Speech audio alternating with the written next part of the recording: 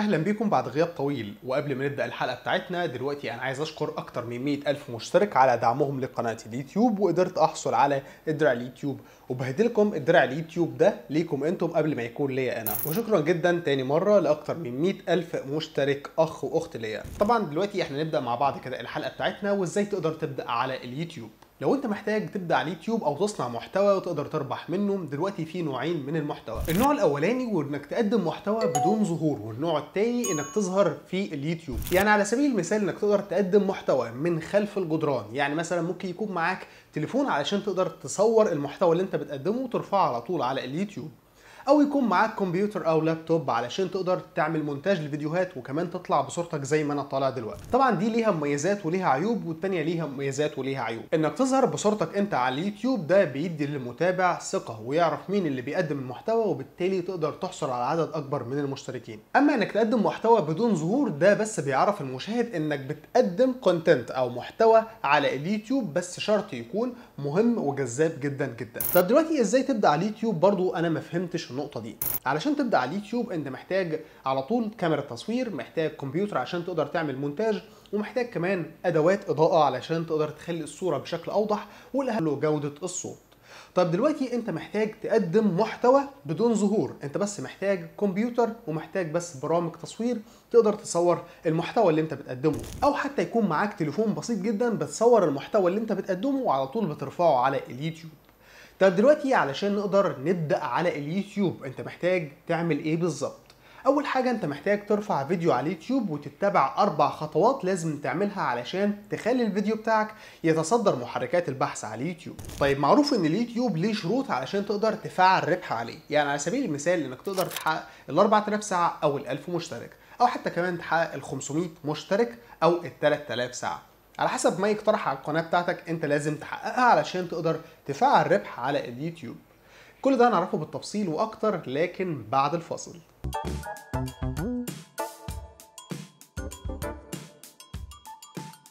دلوقتي زي ما انت شايف كده على سبيل المثال في فيديو معانا على اليوتيوب. طبعا زي ما أنا قلت لك في أربع مقترحات اليوتيوب ضافها لك علشان تقدر تتصدر محركات البحث.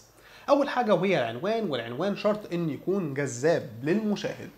والاهم ده كله ودي تاني حاجة وهي الصورة المصغرة. الصورة المصغرة دي برضو حاجة أساسية وتعتبر من أهم الحاجات اللي موجودة على قناة اليوتيوب علشان تقدر تتصدر محركات البحث. أول حاجة بيشوفها المشاهد هي الصورة المصغرة بعد كده بيبص على العنوان. خلي بالك بقى من حاجة تانية وهي الوصف والوصف دي حاجة أساسية ودي تالت حاجة. الوصف ده لازم يكون متناسق مع العنوان ومتناسق مع الصورة المصغرة يعني ما تكتبش حاجة في العنوان مش موجودة في الوصف. آخر حاجة وهي معانا الكلمات المفتاحية أو العلامات المفتاحية ودي اللي بتخليك تتصدر محركات البحث على اليوتيوب. يعني مثلا لما تلاقي أي حد يكتب أي كلمة مفتاحية في محرك البحث على طول بيظهر الفيديو بتاعك. تعالوا بينا كده نبدأ بالعنوان وهو نقل بابجي من الهاتف إلى هاتف التحديث الجديد. بتنقل اللعبة من تليفون لتليفون بدون من استخدام البريد الإلكتروني أو تسجل بالفيسبوك. على سبيل المثال أنا بتكلم على فيديو ده. أنت برضو على المحتوى بتاعك أنت اتكلم على المحتوى بتاعك أنت. ممكن يكون الربح من الإنترنت ممكن يكون أسرار الطبخ ممكن يكون أي كلام في البرمجة. ممكن نقول مثلا كلام في الهندسة. اللي أنت عايزه خالص المحتوى اللي أنت بتقدمه طبق عليه المحتوى اللي أنا بعمله. طب دلوقتي أنا كتبت هنا الكلمة المفتاحية وهي نقل ببجي من الهاتف إلى هاتف التحديث الجديد. طبعا ده العنوان بتاعك أنت وهي حاجة اسمها الكلمة المفتاحية. ممكن برضو تكتب نفس الكلمة المفتاحية بأسلوب مختلف برضو بس شرط إن هو ما يزيدش عن 70 كلمة أو 60 كلمة. طيب دلوقتي هنكتب هنا الوصف والمفروض إنك تكتب وصف احترافي. ممكن تروح عندك على ChatGPT أو الذكاء الاصطناعي. ممكن تقترح عليه اقتراح كويس قوي زي ما انت شايف كده رحت ChatGPT وقلت له إن يكتب لي وصف احترافي عن الموضوع ده وكمان بيذكر أهم الهاشتاجات عن الموضوع ده. طبعا لما تيجي تبعت له الرسالة دي على طول بيظهر لك قدامك زي ما انت شايف قدامك كده. ده وصف الفيديو اللي إحنا هنضيفه عندنا في قناة اليوتيوب وكمان قال لك هنا الهاشتاجات بتاعتها. طبعا بتروح تنسخ كل الكلام ده وبعد كده بتضيفه هنا مع إضافة بعض الروابط الخاصة بالقناة بتاعتك. يعني مثلا لو أنت عايز تشترك في القناة عايز تتابعنا على موقع التواصل الاجتماعي دي حاجة بترجع لك أنت. طبعا أهم حاجة بتضيف الهاشتاجات زي ما أنت شايف كده وكمان بعض الكلمات المفتاحية ممكن تضيفها هنا مفيش أي مشاكل. طيب دلوقتي في حاجة اسمها اللي هو ال timeline الخاص بالقناة بتاعتك. يعني بتضيف مواعيد زي ما أنت شايف كده علشان بيسهل للمستخدم إن هو يوصل للنقطة اللي هو عاوزها. طبعا دي أكتر حاجة بيحبها خوارزميات اليوتيوب علشان بتخلي الفيديو بتاعك متناسق جدا وبالتالي بيقول للمشاهد إن الفيديو ده متناسق وهيساعدك على راحتك إنك تحصل على اللي أنت عايزه من الفيديو. طيب دلوقتي لما تيجي تروح عندك تكتب المواعيد زي ما أنت شايف كده هنا عندي من مثلا بعد خمس ثواني بنتكلم على نقل بابجي من جهاز لآخر. في الثانية ال 16 بتنقل بابجي من هاتف لآخر. في الدقيقة دقيقة و20 ثانية بتقول له هنا نقل بابجي من جهاز بدون فيسبوك. عندي هنا الدقيقة 3 و15 ثانية بتتكلم على كيفية نقل حساب بابجي من جوال لآخر. دلوقتي إحنا بقى بننزل تحت كده وخلصنا من الوصف وزي ما أنا قلت لك أهم حاجة تضيف الهاشتاجات لأنها ممكن تساعدك في تصدر محركات البحث على اليوتيوب. تنزل كده تحت شوية ونروح مع بعض كده على الصورة المصغرة ودي أهم حاجة في القناة بتاعتنا. علشان ترفع صورة مصغرة بشكل كويس إنك بتستخدم موقع كانفا والموقع ده ممتاز جدا في صناعة الصور المصغرة. زي ما أنت شايف كده إنك بتقدر تصمم الصور المصغره بشكل متناسق تقدر تتحكم في أي حاجة أنت محتاجها وكمان تقدر تتحكم في الخلفيات وكمان الكتابة زي ما أنت شايف كده.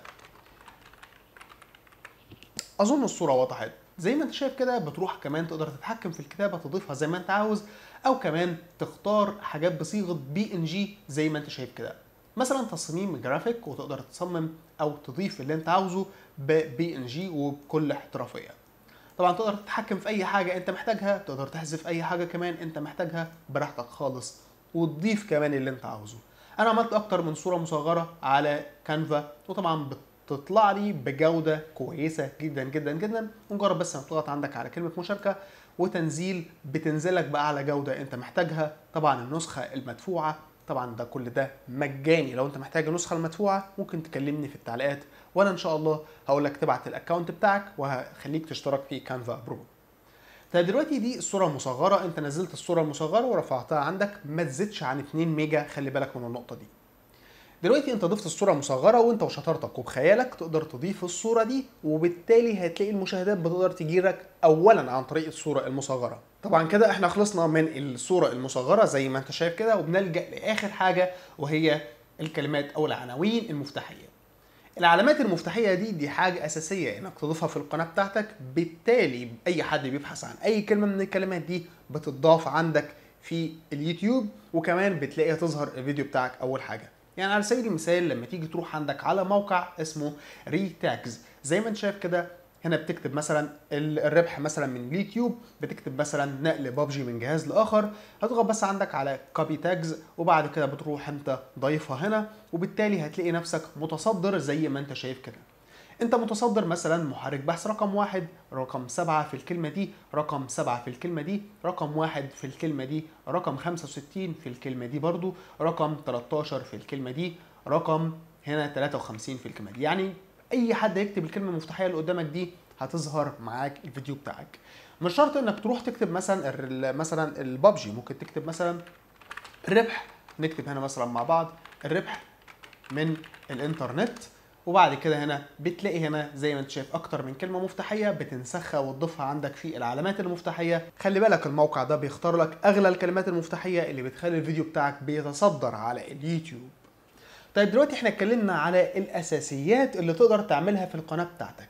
خلي بالك بقى من النقطة اللي جاية دي زي ما أنا بقول لك كده في حاجة مهمة جدا جدا جدا إنك لازم تعملها علشان تخلي الفيديو بتاعك يضرب كده مشاهدات عالية. يعني أنت محتاج تحقق ال 4000 ساعة وال1000 مشترك سيبك من كل اللي فات وركز على اللي جاي. دلوقتي أنت في الوطن العربي بتعمل فيديو باللغة العربية. ليه ما تخليش الأجانب أو الدول الأوروبية إن هم يتفرجوا عليك كمان؟ وكمان تقدر تترجم الفيديوهات بتاعتك لأي لغة أنت عاوزها. ركز معايا في النقطة اللي جاية دي. في حاجة اسمها الترجمة على اليوتيوب زي ما انت شايف كده بتروح عندك على الترجمة وزي ما انت شايف كده الفيديو مترجم لأكتر من 10 لغات زي ما انت شايف قدامك كده.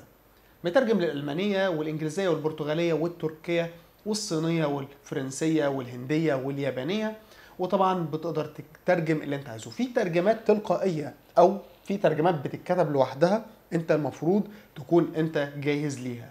يعني على سبيل المثال بتروح عندك بتعمل إضافة لغة وبتروح عندك على اللغة الأسبانية. بتضغط عليها ضغطة كده وبتقول هنا الترجمة وبعد كده بتقول هنا الترجمة التلقائية زي ما أنت شايف كده بيترجم بشكل تلقائي. وبعد كده بتضغط عندك على كلمة نشر وعلى طول بيترجم الفيديو بتاعك باللغة الأسبانية زي ما أنت شايف كده. كذلك برضو العنوان والوصف أنت محتاج تترجم للغة الأسبانية. بتروح تحط هنا العنوان طبعا جوجل ترانسليت مش هيأثر معاك وكذلك برضو الوصف زي ما أنت شايف كده ضفناه هنا وتقول له هنا نسخ وتقول له لصق ادي العنوان وده الوصف. بتنسخ كل الكلام ده وتترجمه وتنسخ كل الكلام ده وتترجمه وتقول له هنا نشر أي حد في أسبانيا هيتفرج عليك. مجرد بس ما بيكتب الكلمة المفتاحية بتاعتك هيتفرج عليك باللغة بتاعته هو. كذلك برضو لما يجي يفتح عندك قناة اليوتيوب أو بيفتح الفيديو بتاعك أنت نروح تاني كده للفيديو ندور عليه. ادي الفيديو كده ونروح عندنا نعمل مشاهدة على اليوتيوب. تمام؟ في حاجة اسمها هنا الترجمة. زي ما انت شايف كده الترجمة دي بيقدر يشغلها زي ما انت شايف وبيقدر كمان يقرأ الترجمة. وبأي لغة هو محتاجها. يعني مثلا بتروح عندك هنترجم مثلا اللغة الألمانية. زي ما انت شايف كده اتحول معانا الترجمة للغة الألمانية.